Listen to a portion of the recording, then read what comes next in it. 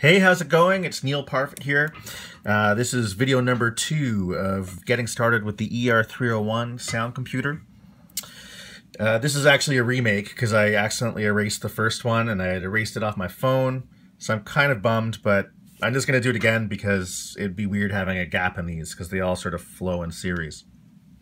So, first video was just a whole sort of grand scope overview of the ER301 layout, how the GUI interacts with the uh, soft keys, and then we looked at getting audio into the 301, processing it with various units, sending it out.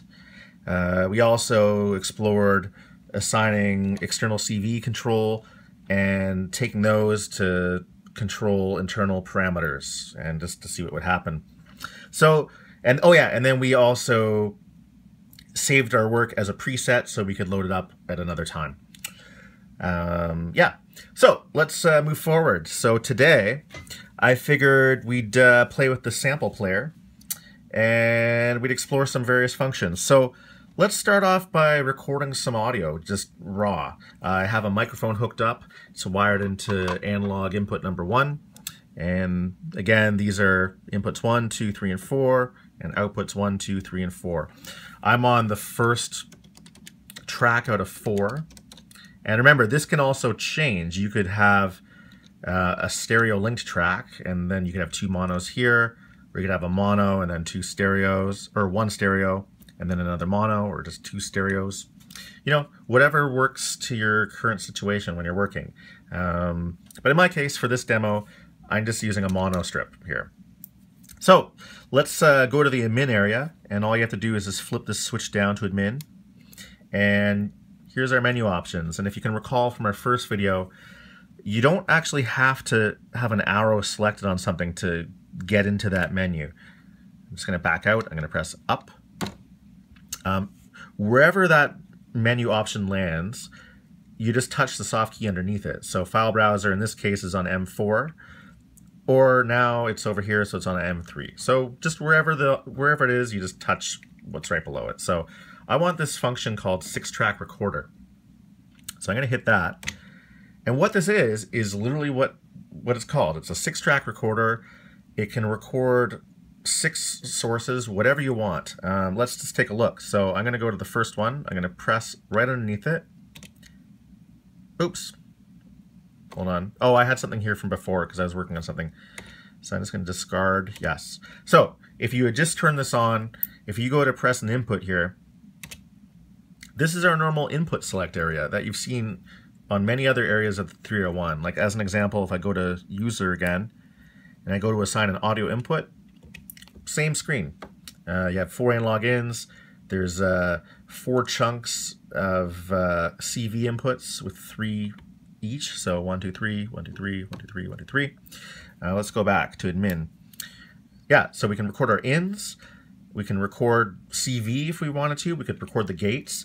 And also another really interesting thing here is you can actually record the outputs, which is tremendous. Like you could be working, and keep in mind the, the six track recorder can record in the background while you're working on other things. So you could just record your jams if you're working on something for an hour or half an hour or 40 minutes or 10 seconds, whatever. And then you could use that file and then reintegrate it back into a into like a sample player or whatever. Like it's pretty powerful. In my case, I just want to record my microphone. So I'm going to press input one. Oh, I, sorry, I'm going to back up one bit. If I press link, I can stereo link channels. So if I want to record a stereo file, now I can record three pairs of stereo. But I'm just gonna put these back. Done. And again, I'm gonna press uh, under channel one, and I'm gonna pick input one to record my voice. And you can see my voice on the scope. I'm gonna press in one, and there we go. Now we have level. I'm not clipping. So let's try something. To record, all you have to do is press start. Hello. So now I'm recording. Uh, if I have to get a glass of water, I can hit pause, and you can see the clock is stopped at seven seconds. And let's start again. I'm going to record some mouth drums. So here we go.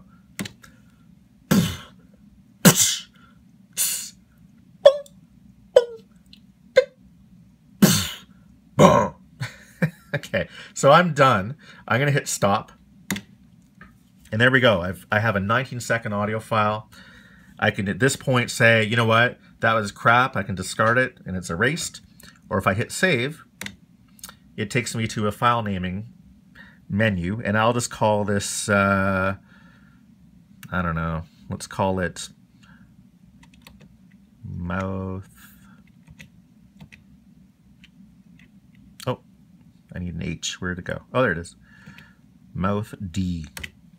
And as you can see, all I have to do is, just use this encoder to change the position of the selector, and then I just press the, the corresponding key to get that text down here. Oh, I prayed a minute. I made it. Oh, no, I did put that D there. Sorry. Oh, I'm so scattered today. Anyway, so let's say this is like the perfect file name, mouth D, and I want to save this. It doesn't say it, but I have to press enter. And now it's done. It's in the machine, on the card, it's called mouth D. So I'm done with the, sample, the, the six track recorder. And I'm just going to press up to take us out, which always gets you out of wherever you are. You can just press up. I'm to go to, I'm to flip this, this switch to user. Now it looks like I was in that input select menu. I'm to press up again because I'm not too sure what's happening. And here we are. This is our home base. Again, this is where we add units to either process sound or generate sound or you know tweak CV or whatever. Um, in this case, I'm to show you something here. I'm going to insert. I'm going to pick a mixer, and I'll explain why in a second. I'll just add one. I'm to turn the fader up to nominal, which is zero on the scope. And like a traditional mixer, I have solo and mute controls. The cool thing about this is if I have multiple mixers, like I could have 10 of them, if I hit solo, it knows to, to temporarily mute the other mixers that are in this chain. Um, but temporarily, I'm just going to have one mixer, and I want to put something within the mixer. So I'm going to touch it. Here's our input select again. So I'm going to press the soft key right below it. And here's the same screen we're used to. We're just nested one level. So I'm going to insert a sample player. And here's a sample player. And it's exactly what you'd expect. You basically drop an audio file into this, and then you can tune it, and you can trigger it, and then you can manip manipulate it later. So I'm going to add in that drum file thing that we just recorded. So I'm to go Menu, I'm going to go Actions, and then here we go, Choose Sample. Ah, but it says empty, no samples. What is that? So the way the ER301 handles samples is there's a global audio pool and it's 480 megs in size. And basically you load audio files into this pool up to 480 megs in total. And any sample player or process in the 301 that wants to look at audio files can read from this global pool, which is great because I've recorded this one audio file that has a bunch of drum sounds, and now I can open up a bunch of sample players to use the exact same file. So we're saving memory and let's take a look. So I'm going to go load. I don't know where I am in the file structure, so I'm just going to press up. And this is sort of the, the root level of the card. So I have a folder called firmware and a folder called 301. I'm going to enter. I'm going to go to recorded. See, I can use the encoder to scroll. And then, where is it? drum mouth D. That's the file that I made. So I'm going to hit enter. And you can see it says mouth D track one mono. So if I had been recording six tracks simultaneously, all six of those files would show up in here. Or if I was recording three files, there'd be three files, etc. So I want this. I'm going to hit enter. And now you can see it's loaded into the pool. That file that was 19 seconds has only taken 4 megs, and we have another 476 megs available of full fidelity sound, which is awesome. So, at this point, this is the file we want to use in the sample player. So, instinctively, I look at this and I go, okay, load. But if I hit that, that's actually just taking us back to the, the file browser to load more samples into the pool. So, we don't want that. I'm to press up. I'm just to get out of there. I want this file doesn't tell you to, but at this point you press enter. And now that audio file is in the sample player. So if I hit menu, let's take a look here. Uh, pitch view. You can see we have an, uh, an overall like waveform overview of everything I've done. And you can zoom in and out. And, but we don't hear anything yet. And why is that? It's because the speed by default is set to zero. So if I bring the playback up to speed, which is one, you'll hear it. Hello. So now I'm recording. Uh, if I can turn this up more. Glass of water, I can hit pause. I'm. Or if I set the speed to the minus, to the negative, No, the playhead will just move uh-huh. backwards. so I'm going to set it to one because that's I just want to hear how we did it. And now it's sort of hard to see because I've the waveforms are covering it, but I'm going to go into the slice menu here. Okay. So I'm done. I'm gonna hit, going to hit stop. stop here. That was weird how my old voice said stop and I said stop at the same time. It's very, very coincidental. Um, here's a over here's a waveform overview of everything we've done, and it's taking up the whole screen now. And what I want to do is I want to insert slice markers. And what that means is if you have a slice, if you send the 301 a trigger, it will trigger that slice instantly with no latency. So I recorded all those drum those drum sounds. So let's do that. I'm just going to navigate and I'm going to insert a marker at every one of those drums. So there's one of them, insert. There's another one, insert. And it automatically snaps to the zero crossing with a global preference. So you don't have to worry about any unnecessary clicks. Uh, here's another one. See, this is relatively quick. And let's try that. Insert, insert. And then this is all me talking after that, some, some junk audio. So the way it behaves is if I trigger, it will just play that slice until it sees another slice marker. So for now, I mean, this is going to be full. This is going to be more expanded once uh, the firmware is updated a little bit more and uh, refined. There'll be like additional features and stuff. But for now, that could be problematic because there might be noise here, or I might have talked in between one of these takes. You know, th if this one plays, it's going to play all this junk after it right to the end. So my workaround for this is just add another slice marker after the drum hit. So I'll just do that. And then that way, if that drum hit triggers, it will stop right after it finishes playing, which is great. So it's sort of like a one-off drum trigger. There we go. So if I hit slice, these are our slices. So it says there's 16, but half of those are wasted for now anyway, just on stop markers, if that makes any sense. So we're in this menu. I want to get out of it. So I'm going to hit up. Oh, I'm still within this section, so I'm going to hit up again. And now we're back in our sample player area. What I want to do now is assign triggers, because right now it will just play from the start to the end, which isn't too helpful. So I'm going to go menu of the sample player, menu. I'm going to go to timing view, and look at this. The interface is sort of compressed over slightly, and now we have this trigger menu. So I'm going to hit the soft key below trigger, and here's our standard input assignment. I'm going to hit that, and now I just assign it a trigger source. So I have all these triggers coming from a gate storm right here. I'm going to choose A3, so I'll just hit that.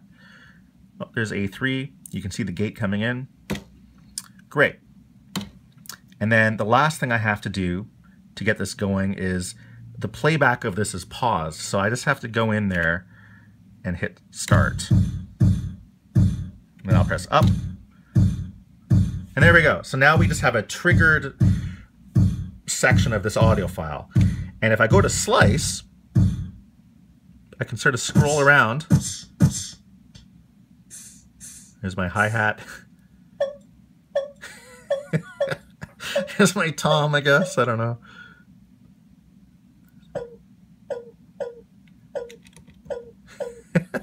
and you can see it, it will like react based on what you've selected. Oh, see now it's triggering the my dummy marker in between, which I don't want, so I got to move it a little bit higher. There we go. So this is my kick, right? So I'm to back out of this for a second.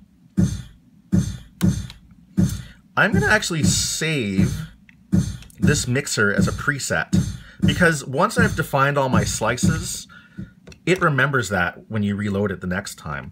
So I'm going to go uh, mixer actions, save preset. I'm going to call this, um, I'm going to call it A, B, C, D, E, F, just because I'm lazy. I'll press enter. And now I have a mixer preset. So the cool thing now is I can, I can insert another mixer after this kick mixer. I'll just insert another mixer. And I'll go actions, load preset. There's my preset. So now, if we look at the interface, let me just, uh, all controls, all controls. So now I have two kicks potentially triggering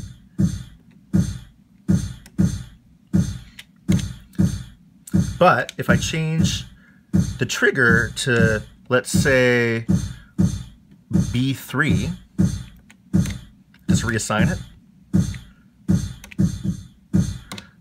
Now it's triggering two kicks. But let's change the slice to something else, right? Hold on. And if you need to hear the trigger faster than what your external source is sending, you can just select the trigger and hit focus. And then you know if you're triggering it properly. So I'm going to get out of that. okay, I don't know what that is. So I'll go back in there and I'll try another slice. Let's try another one. Oh, I was almost there. Hold on. okay, let's use that. Awesome. So let's just keep going. So I'm to go after this mixer. I'm to insert another mixer. And you know what? As I'm working on this third one, I don't want to hear this other stuff. So I'll just solo this mixer for now. Go in there.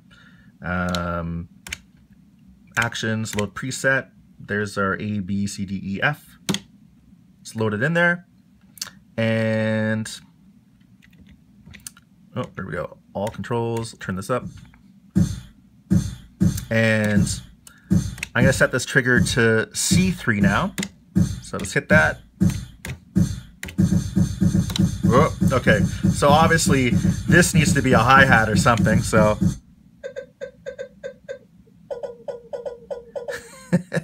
let's use that actually. So there's there's my hi-hat. Oh, actually, wait. Let's see what else we have. Yeah, okay. Let's use that. Let's use that one. so if I go to menu, I could go to pitch view, and I can just... Uh... Or, cool thing about this is, notice when I hit tune or speed, I have that input assigned again. So I could actually use this CV to control the pitch externally. So let's do that. So tuning, let's, let's, set our bass like right there. Or let's set it there as our, our starting position. I'll hit input. I have this CV wired to D2. So let's take a look. You can see it right there. I'll hit it.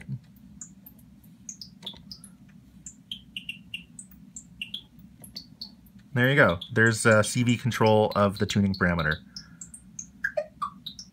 And if, if you can see it,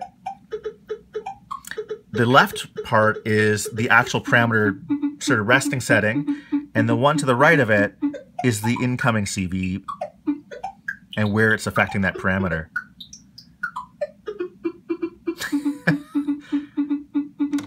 so if we back out, I can now uh, I can unsolo this.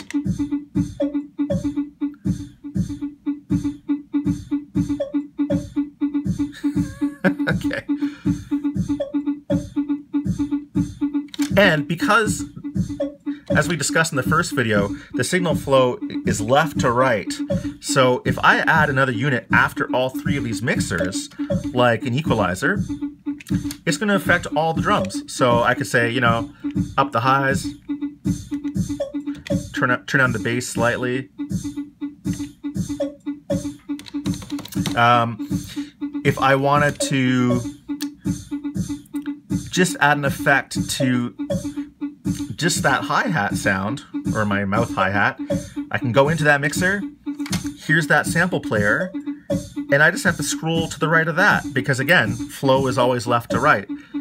So if I wanted to add another effect, I just, you can see it, the arrow sort of in between them, I just go insert, and now I can add, let's try this pitch shifting delay.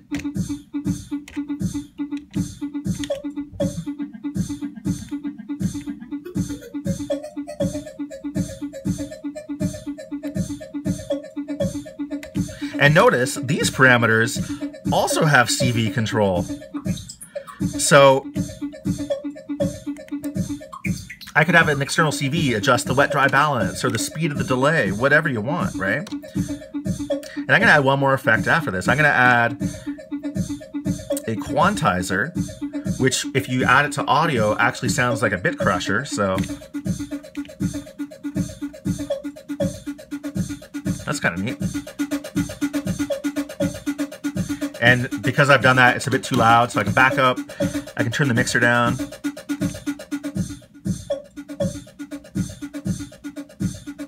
And you know what? I think my snare needs an effect just on the snare, so I can go into that. I can insert a unit after it. Let's compress it with a limiter.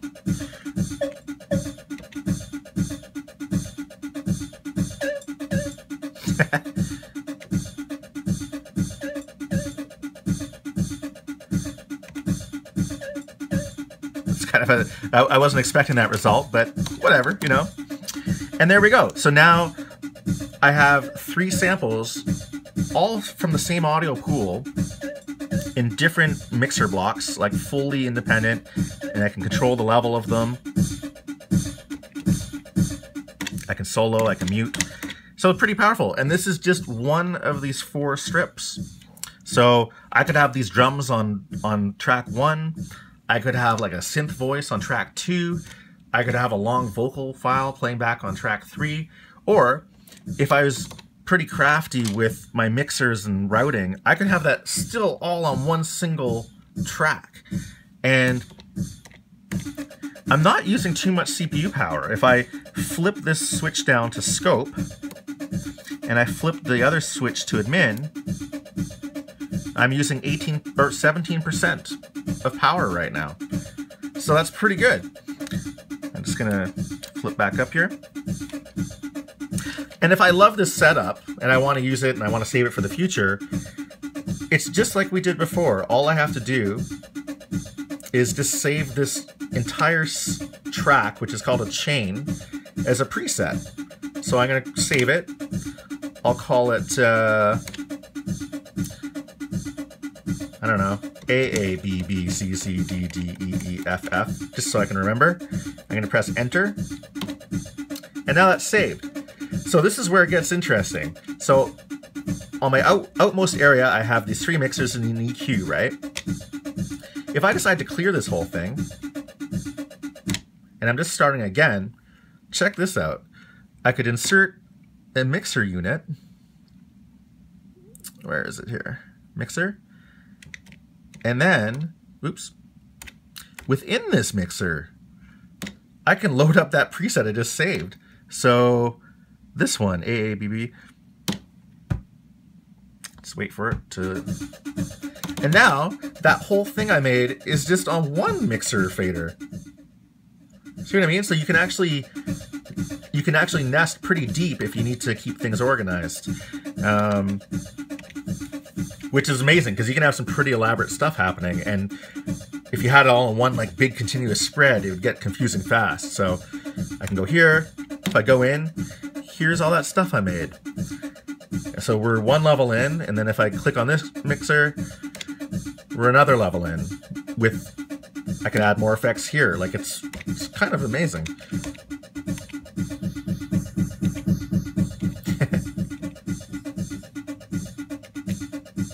And then if I had a whole bunch of setups here at my home level, like a crazy patch for a big track, I could then save that as a preset. So you can see where I'm going. It can it can get pretty uh, pretty dense, but immediately powerful. So hopefully this gave you, gave you a good idea of how to get going, uh, creating sounds, and then incorporating those into a sample player, triggering them, and then being able to tweak them externally with some uh, CV control. And uh, we'll get more into this with uh, building a synth voice in video number three. So uh, if you have any questions, drop me a, a message on YouTube or whatever, um, and I'll do my best to answer your questions. Until then, hope you're good and uh, have fun. Bye.